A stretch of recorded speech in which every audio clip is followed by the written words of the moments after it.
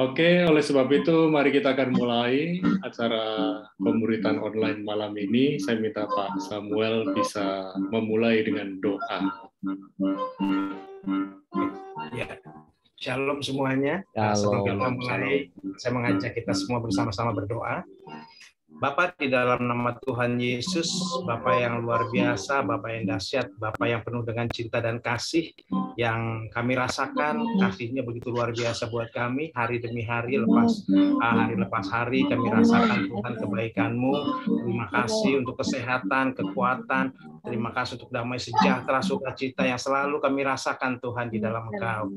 Terima kasih Bapak untuk waktu yang indah malam hari ini, semua ini karena kemurahan Tuhan, kalau kami boleh uh, bergabung Tuhan join dalam pemuritan dan biarlah Tuhan apa yang kami lakukan ini semuanya uh, berkenan di hadapan Tuhan sehingga ketika kami sharing uh, hikmat daripada Tuhan pewahyuan daripada Tuhan turun atas setiap kami semua menguasai hati dan pikiran kami terutama untuk hambamu Dr. Giri yang akan menyampaikan kebenaran firman-Mu malam hari ini Tuhan. Biarlah pengurapan yang daripada surga turun atasnya menguasai hati dan pikiran semua yang disampaikan berasal daripada Tuhan menjadi berkat buat setiap kami semua di sini. Kami mulai Tuhan uh, acara Zoom meeting ini di dalam nama Tuhan Yesus. Haleluya. Amin. Amin. Ya, langsung saya serahkan kepada Pastor Gary untuk dapat memimpin kita. minta izin bisa dibuat saya jadi co-host supaya saya Oh, bisa boleh. share screen. Ya, bisa, bisa. Sebentar. Saya make co-host. Oke. Yes. Ya, sudah. Mau masuk itu. Iya. Sebentar. Baik. Ya, sini tadi eh, saya mute, sekarang Pastor Gary bisa dibuka karena tadi ada yang eh, bersuara ya, tadi bunyi. Puji Tuhan, malam hari ini saya dapat satu kehormatan untuk kita bisa belajar bersama-sama.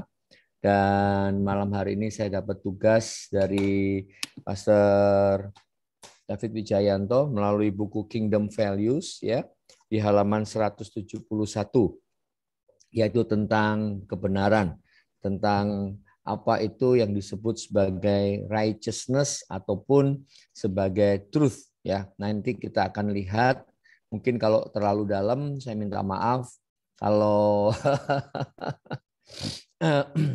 jadi eh, firman Tuhan di dalam Sakaria 8 ayat yang ke-16 itu menyebutkan bahwa inilah hal-hal yang harus kamu lakukan berkatalah benar seorang kepada yang lain dan laksanakanlah eh, hukum yang benar yang mendatangkan damai di pintu-pintu gerbangmu. Saya izin share screen eh, apa yang sudah saya persiapkan dan juga semoga ini bisa menjadi berkat buat kita.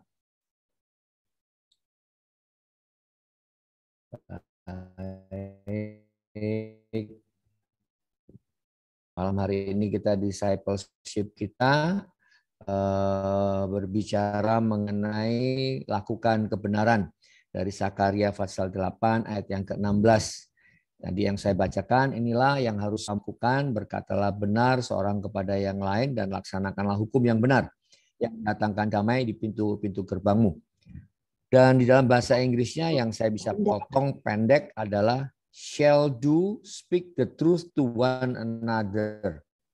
Ini penting sekali buat kita untuk kita eh, berkata benar, berkata di dalam kebenaran dan apa yang eh, digarisbawahi oleh Pastor David bahwa kita harus speak the truth, the whole truth, nothing but the truth. Itu berbicara mengenai bagaimana kehidupan kita yang sesungguhnya kita berjalan di dalam kebenaran dan pertanyaannya apakah kebenaran itu? Nah, ini dia. What is truth?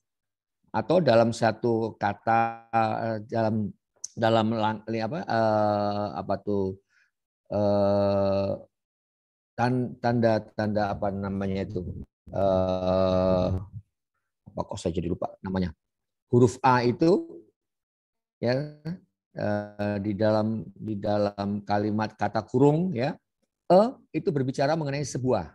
Apakah kebenaran itu sebuah ataukah kebenaran itu apa?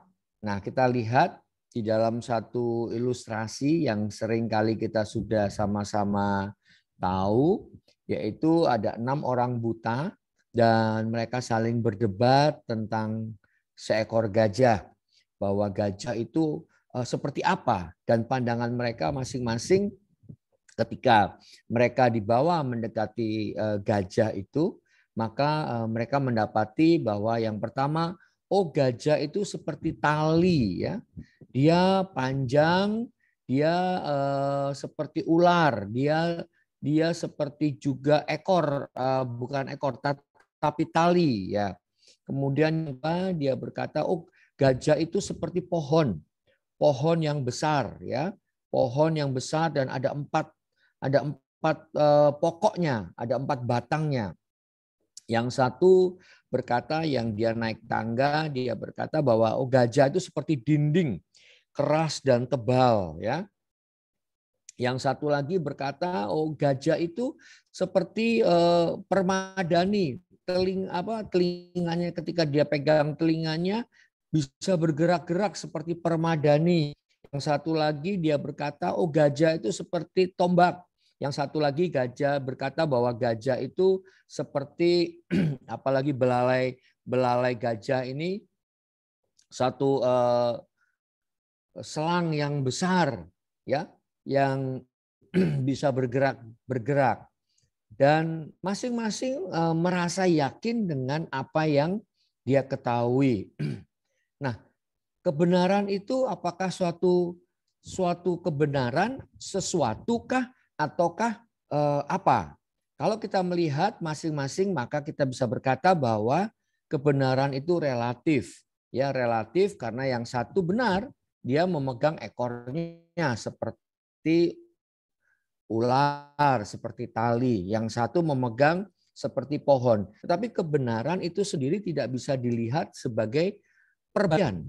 Nah, kebenaran adalah suatu keadaan yang hakiki, yang realitas berdasarkan uh, harus sesuai dengan realitas yang ada.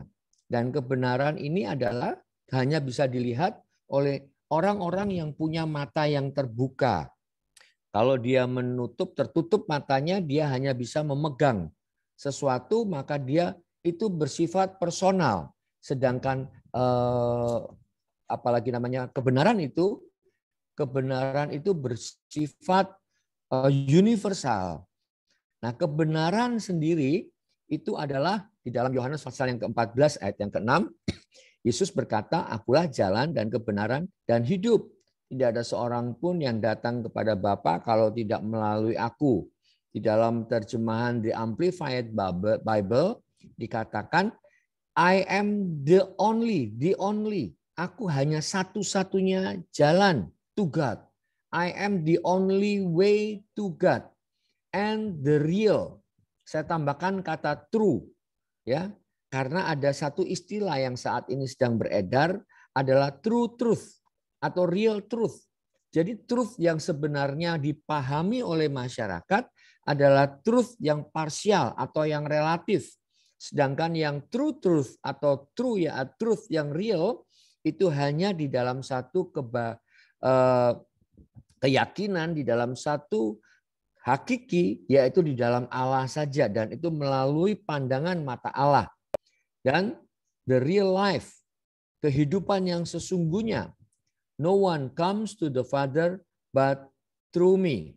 Nah kebenaran yang seperti inilah kebenaran yang hakiki. Bahkan di dalam Yohanes pasal yang ke-8 ayat yang ke-32 berkata dan kamu akan mengetahui kebenaran, you will know the truth regarding salvation. Sesuai yang mengarah kepada keselamatan dan kebenaran itu and the truth will set you free, akan memerdekakan kamu from the penalty of sin. Ini semua saya ambil dari uh, Amplified Bible. Kenapa saya gali yang ini?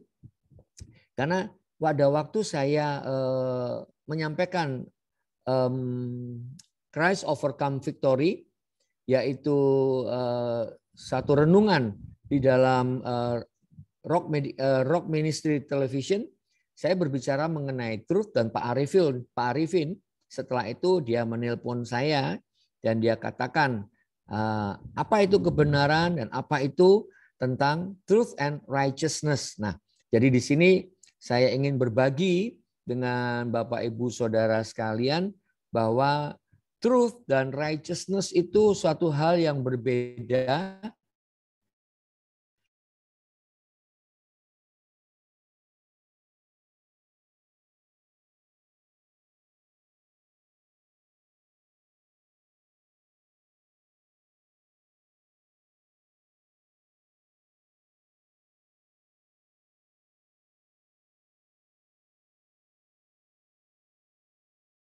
itu akan menjadi sepotong-sepotong atau bukanlah sesuatu kebenaran yang sesungguhnya, the real truth.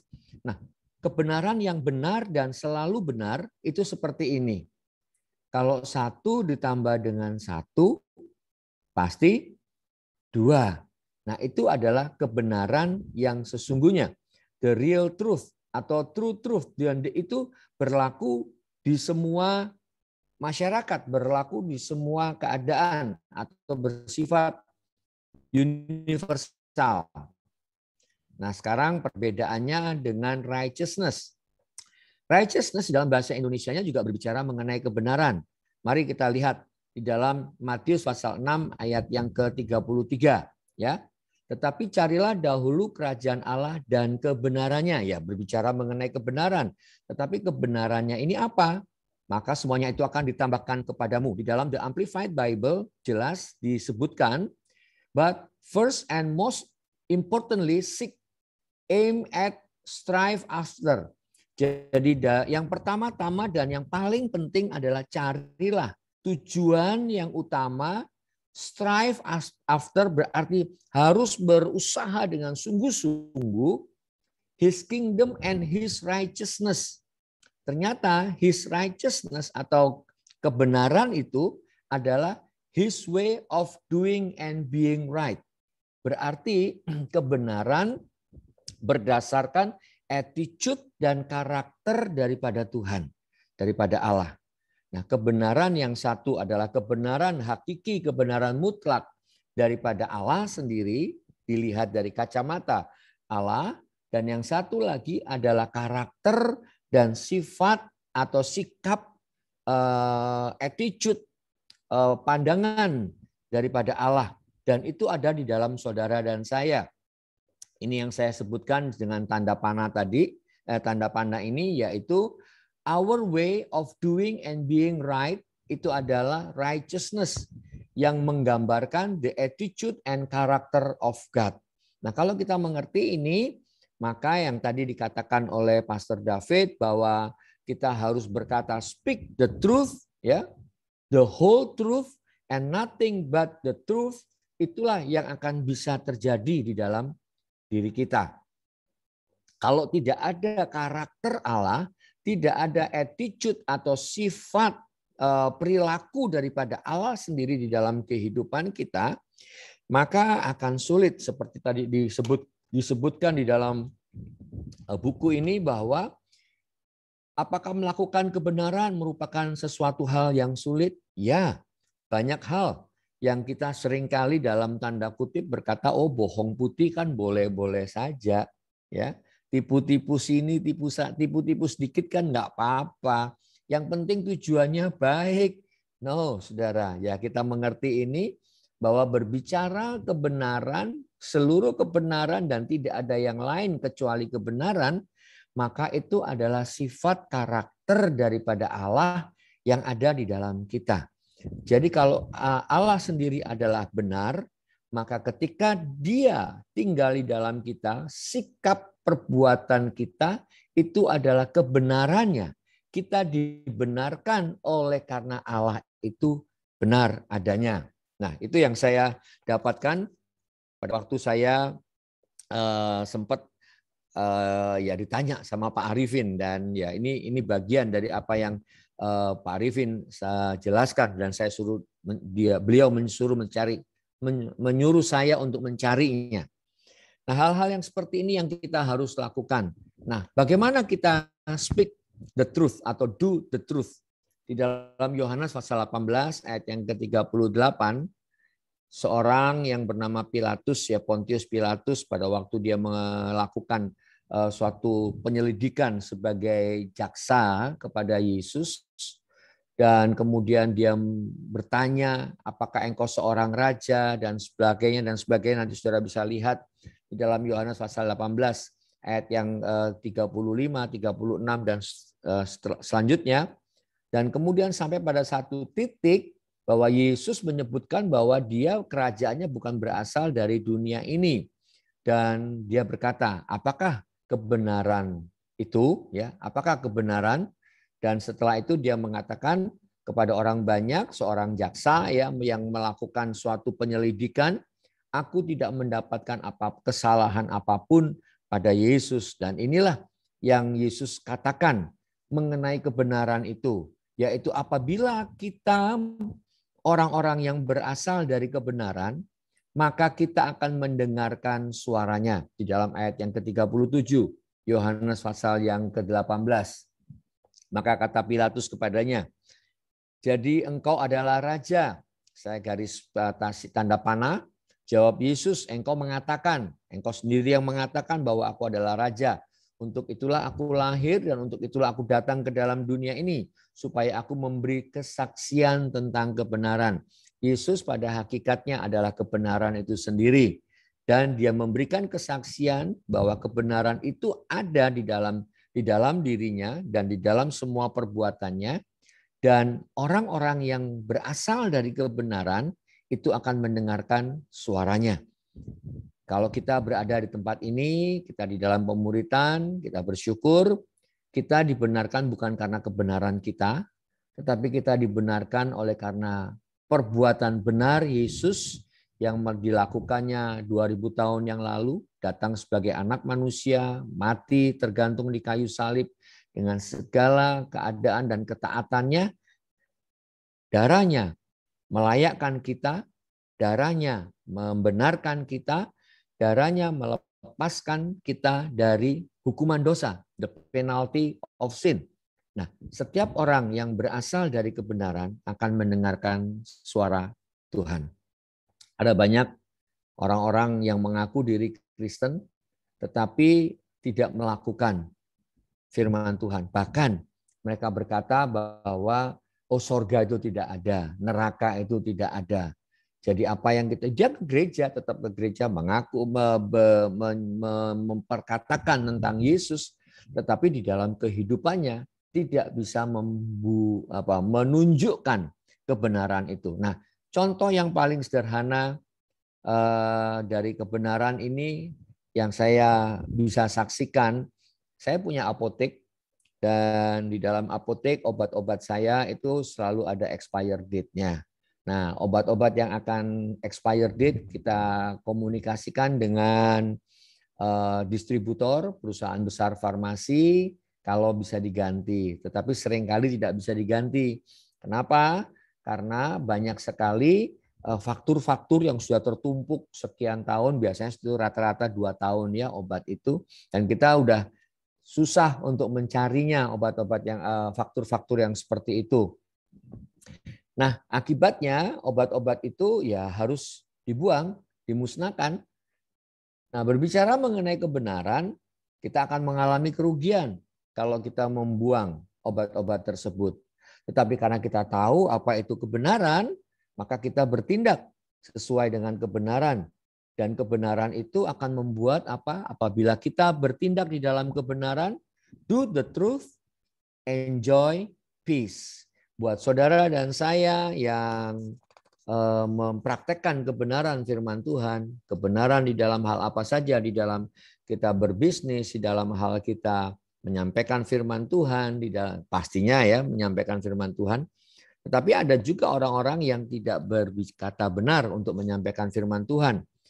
Uh, hanya untuk memboosting uh, dirinya bahwa saya sudah saya Masih sudah ya, melakukan. Waktu manusia itu jatuh dalam dosa, dia mengambil daun pohon pohon Ya, terima kasih. Baik, orang orang benar, orang benar yang benar-benar melakukan kebenaran akan menikmati berkat dan perlindungan Tuhan. Sudahkah kita melakukan kebenaran sebagai gaya hidup kita? Nah, hari ini kita sudah mendengar bahwa setiap orang yang berasal dari kebenaran, mendengarkan suara Tuhan, mereka akan melakukan kebenaran itu dan mereka akan menikmati damai sejahtera Tuhan. Kiranya Tuhan Yesus memberkati eh, sharing singkat malam hari ini. Amin. Amin, amin, amin. Saya percaya kita semua sangat-sangat diberkati oleh sharing dari Pastor Gary dan sebuah kesaksian tadi sangat luar biasa. Mau untung atau mau benar, mau hidup benar. Ya, kalau mau untung ya bisa saja yang namanya obat expired date itu diselipkan dijual kadang-kadang kita uh, pasien juga nggak tahu karena fokusnya bukan obatnya tapi bagaimana meminum obatnya apalagi apotek yang sudah dipercaya oh pasti nggak ada expiry date pasti semuanya baik apalagi servisnya baik jadi ternyata Eh, banyak orang berpikir servis baik, pelayanan baik itu sudah melakukan kebenaran. Oh tidak. Nah, karena tadi dibilang uh, truth itu kebenaran yang hakiki dan righteousness itu suatu hal yang berbeda. Sama-sama bahasa Indonesianya kebenaran, tetapi bicara righteousness itu berbicara mengenai karakter, Sementara truths ya dan sikap dan sementara truths itu bicara tentang kebenaran yang hakiki. Ketika Yesus berkata I am the truth, ya itulah akulah sang kebenaran. Nah, nah bagi kekasih Tuhan yang malam ini ikut dalam pemuritan, mari kalau ada yang mau bertanya mengenai lakukan kebenaran dan sekitar hal kebenaran, mari silakan biar nanti Pastor Gary bisa menjawab. Silakan ya, langsung saja buka mikrofonnya atau angkat tangan bisa.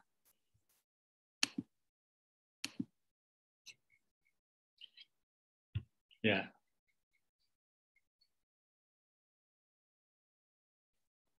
Pak Sam mau menanggapi apa yang disampaikan oleh Pastor Gary, nyambung dengan apa yang di uh, kesaksian Pak Sam minggu lalu, Kamis lalu.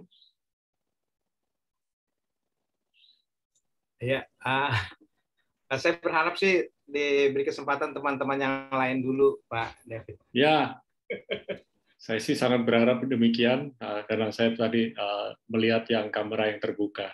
Bu Fenti? Uh, boleh Pak sedikit aja Pak. Ya, silakan. Uh, kalau kita bicara kebenaran itu memang udah menjadi suatu keharusan gaya hidup kita sebagai anak-anak Tuhan, gitu kan? Uh, firman Tuhan saya lupa ayatnya di Roma apa ya? dibilang di situ bahwa kerajaan Allah itu bukan bicara tentang makan dan minum, tapi bicara tentang kebenaran, damai sejahtera dan sukacita. Jadi uh, sebagai warga kerajaan ya kita memang harus hidup dalam kebenaran. Nggak ada nggak ada apa namanya nggak ada pilihan lain. Jadi itu mutlak ya. Nah kadang-kadang tapi sering kali ketika kita melakukan kebenaran uh, kita sering berbenturan dengan orang gitu kan uh, sering kali uh, apa namanya kita salah dimengerti sama orang gitu. Nah itu uh, saya beberapa kali sih mengalami hal-hal seperti itu. Ketika kita melakukan kebenaran, uh, jadinya berseberangan gitu. Tidak tidak sepaham. Itu beberapa kali. Itu saya dalam pelayanan. Terus istri saya juga mengalami begitu ketika bekerja, ketika melakukan kebenaran, uh, tapi bosnya tidak tidak setuju gitu kan uh, menurut menurut bosnya ya ada hal-hal yang memang bisa ditolerir lah gitu. Tapi istri saya tetap uh, bilang tidak gitu. Akhirnya ya begitu juga. Tapi tetap tetap menjalin hubungan baik. Cuman maksudnya uh, agak-agak selisih paham tentang kebenaran. Uh, walaupun sama-sama anak Tuhan. Jadi memang melakukan kebenaran itu uh, kita harus siap disalah mengerti sama orang lain gitu. Ya itu aja dari saya uh, Pak David. Ya, uh, saya mau bertanya nanti ya, mungkin Pak Felix sebentar lagi. Pak Gary bisa uh, apa dijelaskan uh, orang yang idealis, ya idealis itu tahu firman, dia terapkan firman dengan idealismenya karena pengetahuannya tentang firman dengan orang yang disebut saleh atau soleh gitu. Nah itu ada bedanya nggak Pak? Ya, pastinya. Orang yang saleh adalah orang yang idealis. Tetapi orang yang idealis belum tentu dia saleh. Seperti itu ya. ya, ya, ya kan? Jadi orang yang saleh hidupnya ya sesuai dengan karakter daripada Allah yang dia sembah, benar-benar menerapkan firman Tuhan, dan itu adalah orang-orang yang bahkan bisa dikatakan mereka adalah orang-orang yang militan. Tetapi orang-orang yang militan atau orang-orang yang idealis, dia tahu tentang kebenaran, dia nggak peduli dengan orang lain, dia tabrak saja, tetapi belum tentu itu membawa dampak untuk orang lain. Nah, hal yang seperti ini yang berbeda, yang membuat kenapa di dalam di dalam dunia eh, baik kita yang di bisnis maupun kita yang di eh, pelayanan mengalami benturan-benturan, ya ada orang memaksakan dengan kehendaknya. Ya itu suatu contoh, misalnya ya kamu harus lakukan ini, kalau kamu tidak lakukan ini maka kamu tidak akan mendapatkan yang seperti ini. Itu itu banyak hal dan buat orang yang lain dia berkata ya seperti orang Farisi lah seperti itu ya. Dia memberikan banyak hukum tetapi dia sendiri tidak melakukannya. Nah, kira-kira seperti itulah orang yang idealis, orang yang mengharapkan orang lain bisa menerapkan apa yang dia uh, ingin lakukan tetapi dia sendiri tidak mampu untuk melakukannya.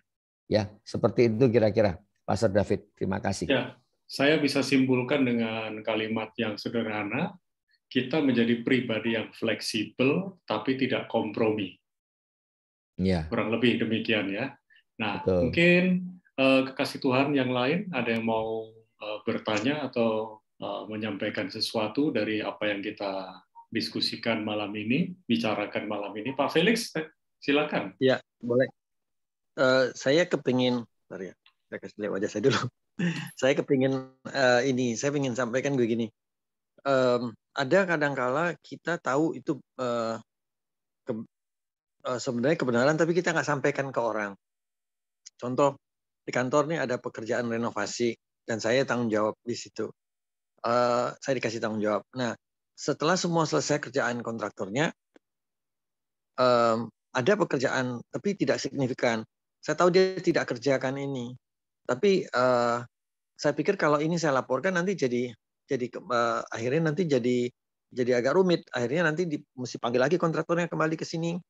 Ya, kita tahu meskipun dia ada lima persen yang kita tahan dari dia, tapi saya pikir ini tidak signifikan. Jadi saya uh, saya tidak laporkan itu sebagai satu kekurangan. Saya anggap itu sudah ini aja. Sebenarnya uh, apakah itu salah atau tidak? Karena saya sebenarnya saya tanya, saya beritahukan, saya uh, saya sudah laporkan ke direksi bahwa pekerjaan mereka sudah selesai. Saya bilang tapi meskipun saya tahu ada sedikit yang belum selesai, yang belum diselesaikan, tapi karena menurut saya itu tidak signifikan, ya udah saya abaikan saja begitu. Nah, um, bagaimana menurut Pastor David dan Pastor Gary? Kira-kira uh, apakah itu secara ini kita menutupi kebenaran atau itu memang bisa, tidak bisa ditolerir atau gimana?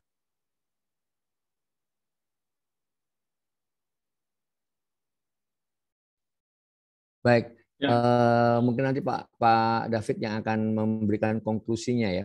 Saya sih ya. kalau melihat itu seperti keadaan yang seperti itu, ada kalanya memang di dalam keperawatan saya juga menemukan hal yang sama.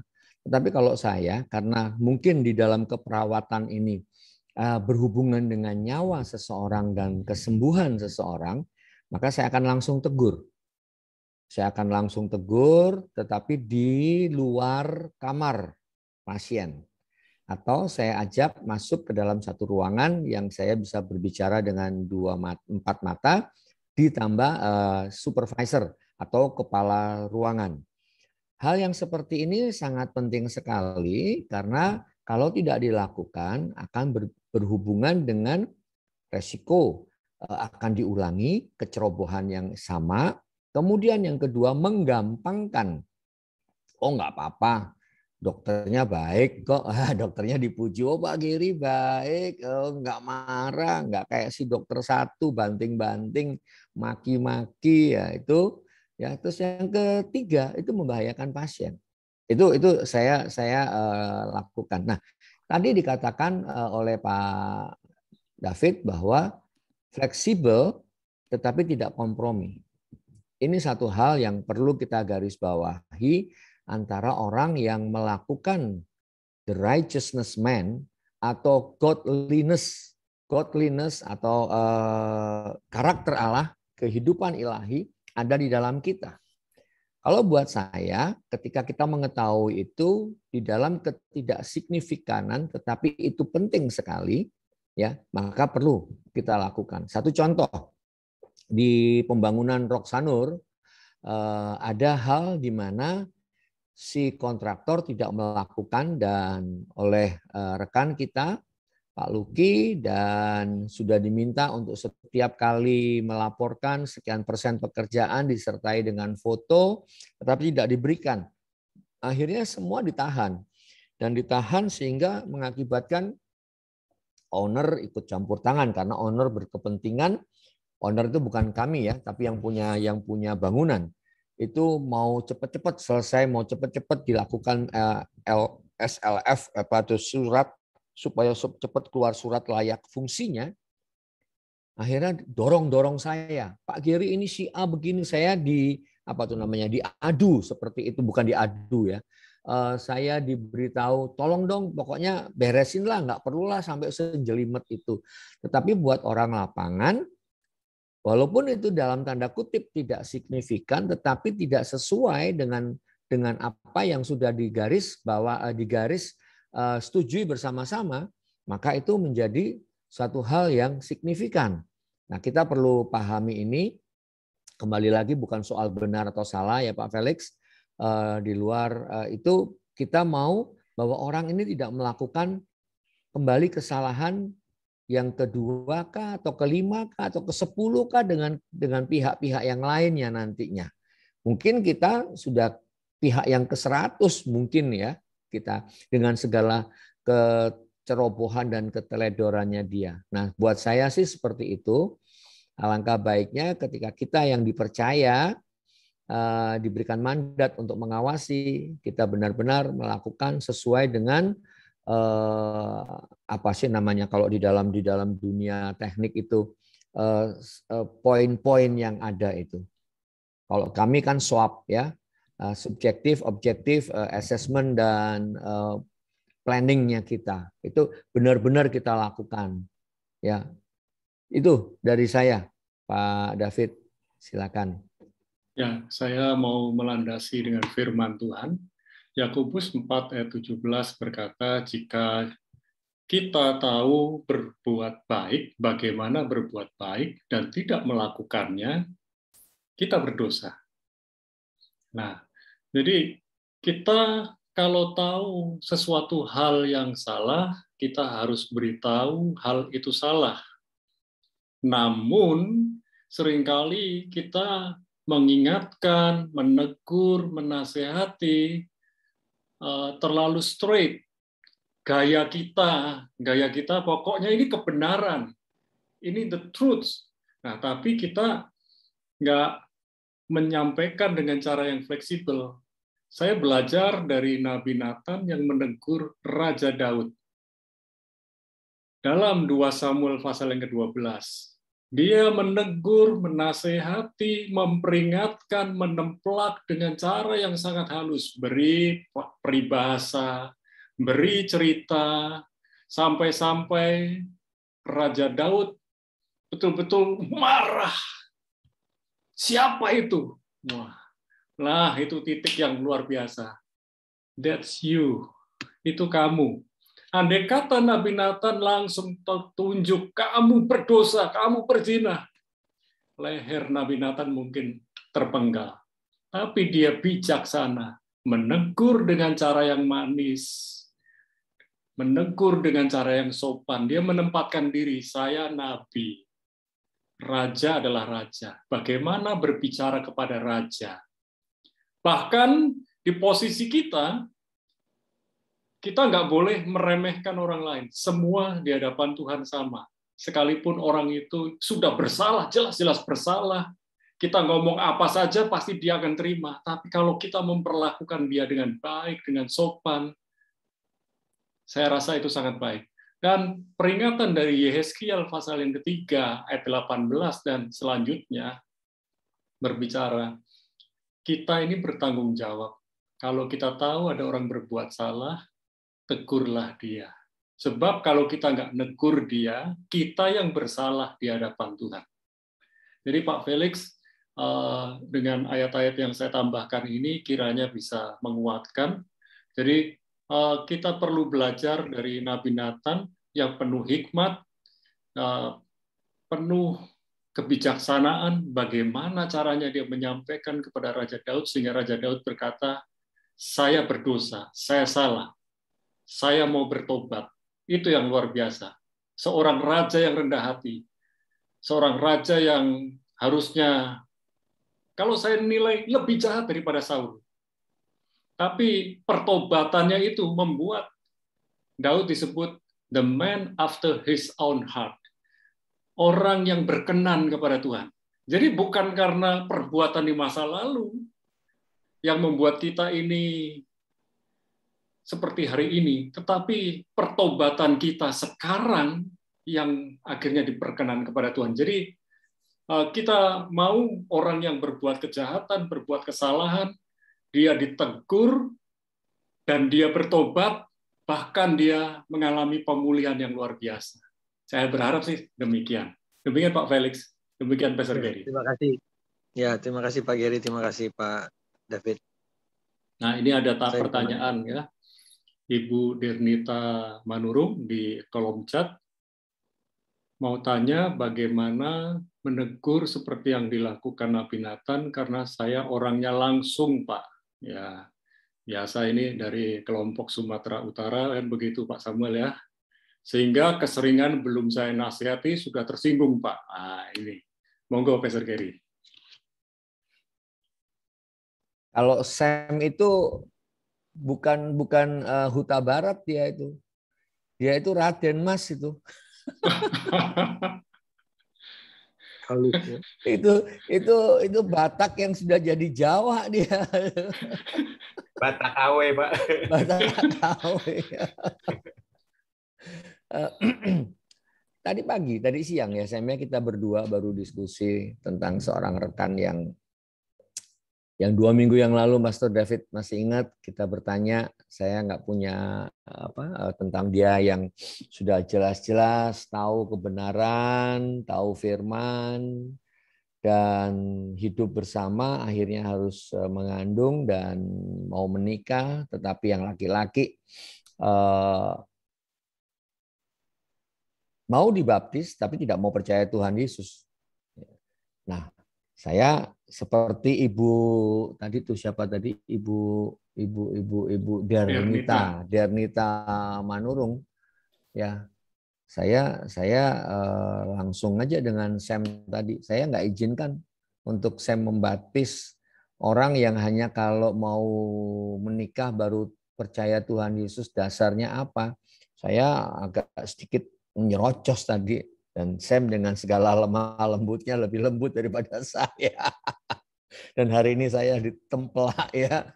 Nah itu itu adalah hal yang seperti kita harus belajar seperti Nabi Nathan tadi. Artinya Sam sudah melakukan apa yang eh, dengan segala kelemah lembutan, dengan segala otoritas sebagai gembala komsel untuk menasehati orang tersebut, bahkan disalah mengerti oleh ada beberapa orang lainnya seakan-akan menghalangi orang dibaptis, saya katakan kamu nggak salah. Kamu nggak salah karena dasar dia mau dibaptis bukan karena percaya kepada Tuhan Yesus, tapi karena dia mau menikah. Dan kita nggak mau sampai ini terjadi. Bahkan ada kasus dibaptis sudah, kemudian dia menghilang dan terakhir diketemukan mati gantung diri, mati bunuh diri. Nah ini menyedihkan. Dan ketika dicari tahu, itu dibaptis di Sanur.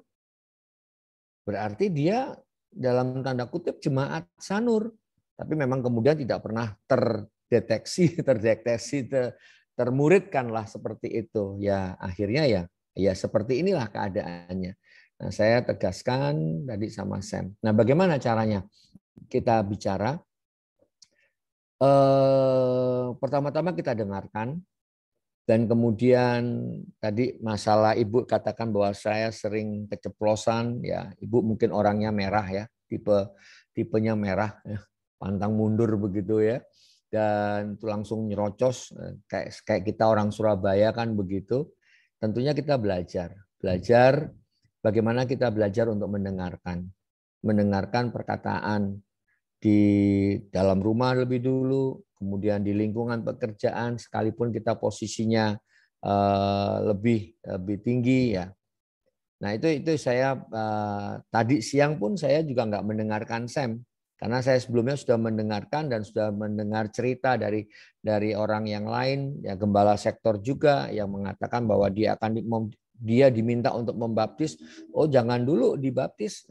Saya langsung nyerocos dengan Sam tapi setelah saya memberitahu dan Sam setuju, sepakat dengan saya, memang memang tidak saya kita kita juga tidak mau memberikan izin untuk dibaptis sampai dia benar-benar dimuridkan.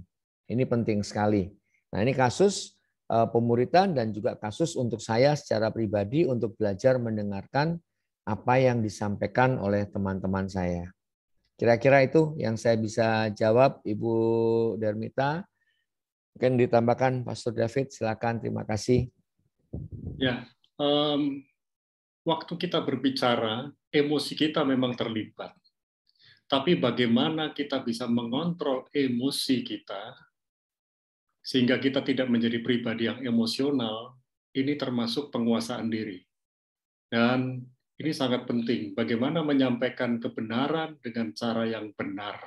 Karena banyak orang bisa menyampaikan kebenaran dan dia menyatakan, saya sudah menyampaikan kebenaran, itu urusan dia, dia mau dengar atau tidak. Tapi kita juga mau belajar bagaimana menyampaikan kebenaran dengan cara yang benar. Tujuan kita, goal kita, supaya orang itu berubah. Namun kalau orang itu nggak mau berubah, ya memang betul urusan dia. Ya, termasuk dalam yang namanya pemuritan ini, goal kita adalah kita ini memiliki nilai-nilai kerajaan Allah kita ini benar-benar menghidupi nilai-nilai kerajaan Allah. Sehingga nilai-nilai kerajaan Allah itu menjadi gaya hidup kita sehari-hari. Jadi bukan hanya slogan, kita hanya tahu, tapi kita ini betul-betul mengenal. Oke, Bapak Ibu, ada yang lain? Ada yang ingin tanya atau menyampaikan sesuatu, menanggapi apa yang disampaikan oleh Pastor Gary? Bu Fenty mungkin? Oke. Ya, Bu Ine? Bu Monika?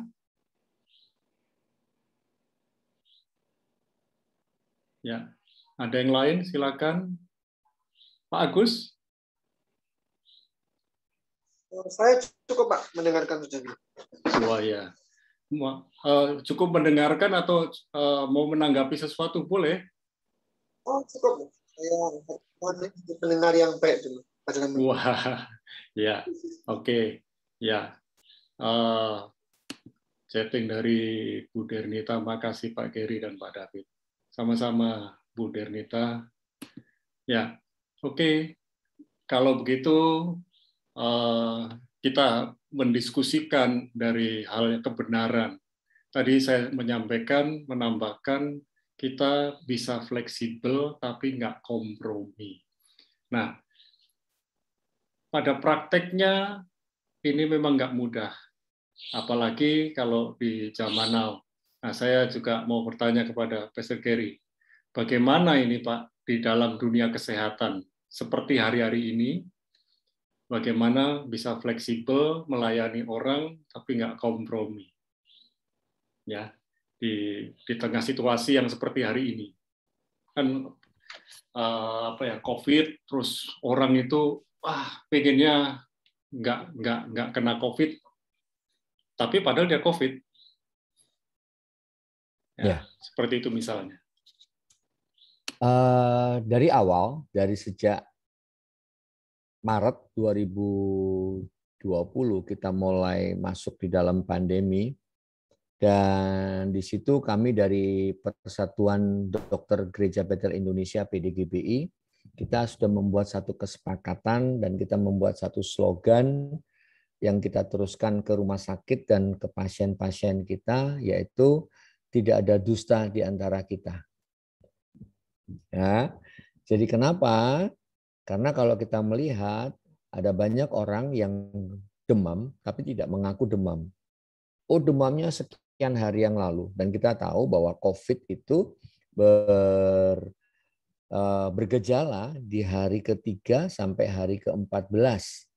Dia bisa bergejala di sekitar itu. Entahkah berpergian, entahkah kita batuk pilek, entahkah kita kontak dengan orang-orang itu. Nah, buntutnya ketika saya menemukan kasus-kasus yang seperti ini memang memang terus terang di negara kita ketegasan aparat itu uh, tidak dan bahkan aparat bisa dijadikan bulan-bulanan kasihan sekali oleh masyarakat ya sampai dikejar-kejar seperti itu uh, ya dengan sangat terpaksa orang-orang yang tersebut dengan meminta maaf bahwa Anda harus pindah dari ruang praktek saya. Dan ruang praktek saya segera disteril. Ya, pada waktu itu masih kita belum punya apa kaca pembatas, kita pakai baju bukan baju yang eh, hazmat atau baju yang kedap terhadap virus, kita pakai kain biasa ya. Dan itu kan membawa banyak korban, ada yang sampai menggunakan jas hujan dan sebagainya. Nah, itu itu cukup merepotkan dan membuat kita juga jengkel, tetapi dengan sangat terpaksa kita harus bilang. Dan kepada pasien-pasien yang tidak pakai masker atau yang maskernya turun. Nah, seperti itu kita ingatkan kembali kepada mereka. Tapi dengan cara yang tadi dikatakan, cara yang lemah lembut seperti Nabi Nathan berumpama-umpama dan kita katakan kalau seandainya, kalau seandainya, dan akhirnya mereka mengerti. Ketika satu ketika saya dapat satu pasien dan ternyata anak ini, bayi ini ya, eh, umur 11 bulan positif, ibunya di swab antigen juga positif, kemudian keluarganya, kakaknya di swab juga positif. Bersyukur bahwa papa dan mama atau kakek dan nenek daripada bayi ini yang yang tinggal satu rumah dan ayah daripada bayi ini tidak tidak positif. Tetapi mereka segera melakukan isolasi mandiri. Nah, hal-hal yang seperti ini bagi kami itu beresiko ya, beresiko terhadap penularan dan kita tahu di Bali klaster keluarga, klaster uh, adat istiadat itu tinggi sekali di mana uh, ya kita sudah sama-sama tahu lah kita bisa melihat di uh, media sosial. Nah, paling tidak sebagai seorang dokter kita harus memberitahukan saya sebagai seorang dokter saya memberitahukan kepada keluarga kalau sampai terjadi positif pada keluargamu dan itu adalah orang tuamu, itu adalah nenek kakekmu dan mereka meninggal, apa yang kamu rasakan? Nah, di situ mereka baru seperti tadi Raja Daud. Kalau Raja Daud marah, mereka baru sadar. Iya ya, kalau sampai itu yang terjadi dan mereka cerita, iya, keluarga sini meninggal ininya, keluarga sini meninggal ininya. Jadi dengan cara yang seperti itulah saya eh, yang tadi dikatakan bahwa kita harus fleksibel dalam menghadapi orang-orang ya yang dalam tanda kutip dan itu berhasil. Begitu, Pastor David. Terima kasih. Ya, ya, luar biasa. Jadi apa yang disampaikan oleh Pastor Gary bisa mengingatkan kita mengenai hal kesehatan. Mungkin Bapak Ibu ada yang mau bertanya hal kesehatan kepada Pastor Gary, boleh sebelum kita akan mengakhiri uh, pemuritan online malam ini. Silakan. Pak Felix mau bertanya? Ya, boleh. Saya sebenarnya menanggapin soal COVID tadi ya, um, yeah. Pak Giri. Um, saya tahu ada ada teman dia sudah dia kena dia kena dia dapat gejala itu. Tapi kita bilang kenapa kamu tidak melaporkan itu? Uh, ah enggak ah, saya cuma uh, apa ke flu pilek biasa aja katanya. Tapi berapa hari katanya. Terus uh, terus suami saya juga gitu katanya. Terus kenapa lapor? Enggak, enggak usah deh lapor. Saya kita ke dia aja puskesmas saja sudah minum obat udah sembuh kok katanya begitu. Dan um, saya tahu ketakutan uh, mereka adalah uh, ketika sekarang kan di Bali lagi gencar-gencarnya kalau ada beberapa teman kantor saya bahkan seorang jenderal juga itu diciduk. Jadi ya kami istilahkan diciduk karena uh, uh, ya jadi diambil dari rumah. Dijemput dijemput, ya, dijemput. karena teman saya ini yang kasih istilah dia bilang diciduk.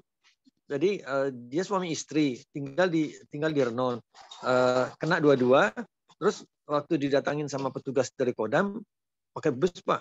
Pakai bus gede. Terus dia bilang kami ada di rumah berdua jadi uh, anak-anaknya sudah diungsikan. Uh, kami bisa isolasi di sini Oh nggak bisa kata Kodam, harus ikut kami katanya. Akhirnya dibawa, ya syukurnya dibawa ke Hotel Bali Beach yang tidak terlalu ya meskipun hotel itu ada sedikit uh, aroma apa uh, apa namanya itu yang spiritualnya kurang ini, tapi secara ini hotel masih oke okay, kan gitu pak.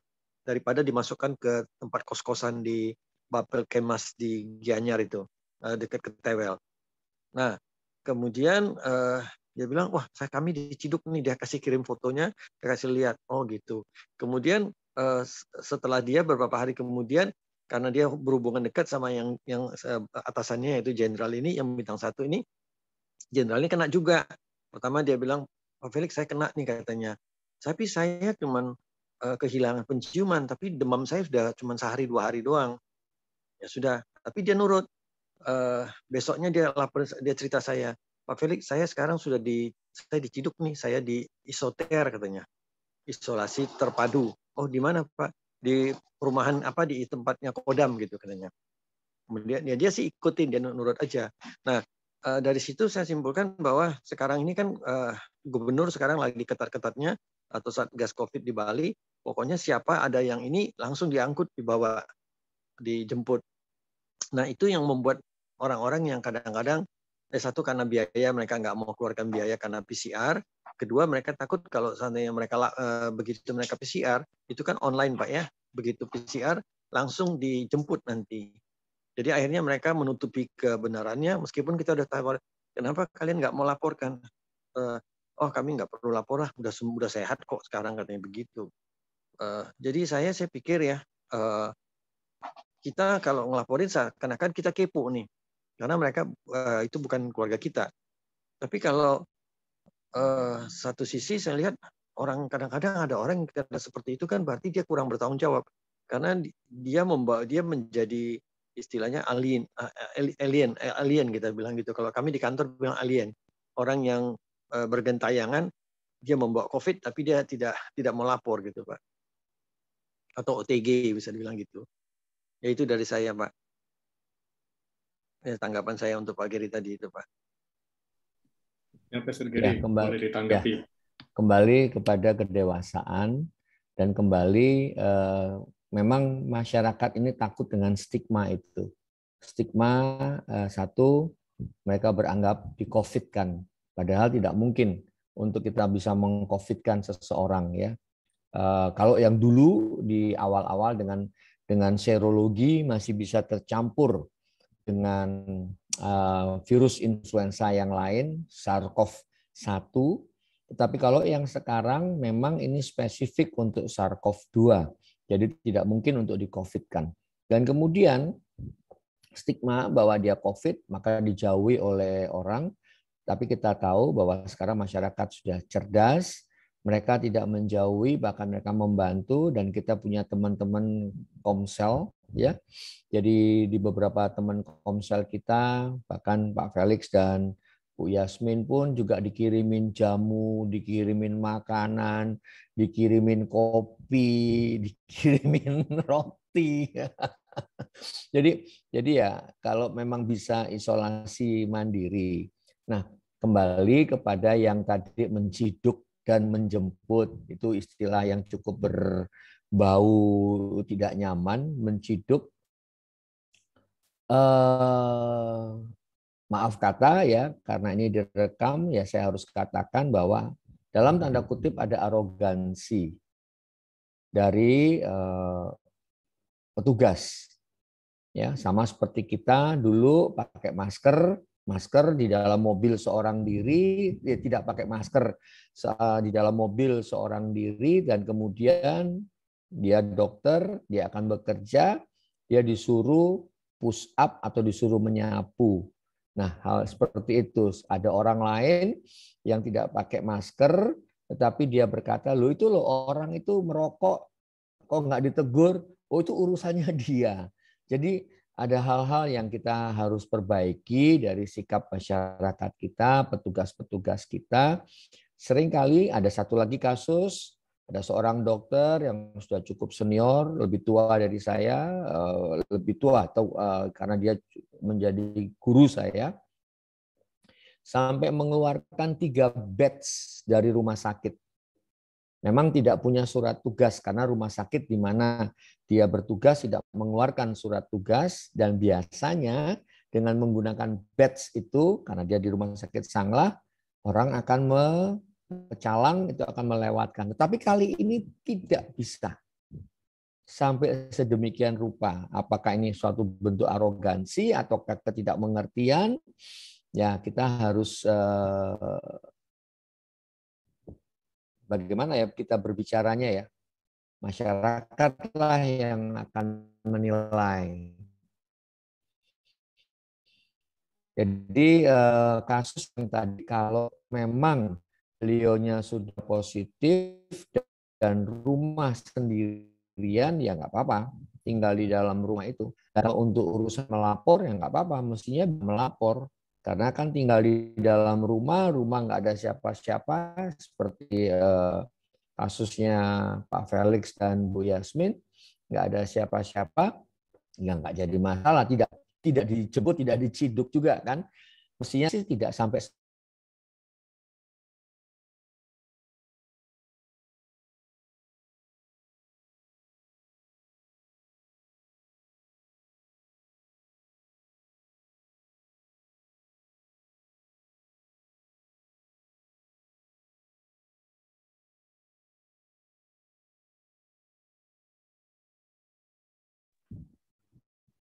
Ya.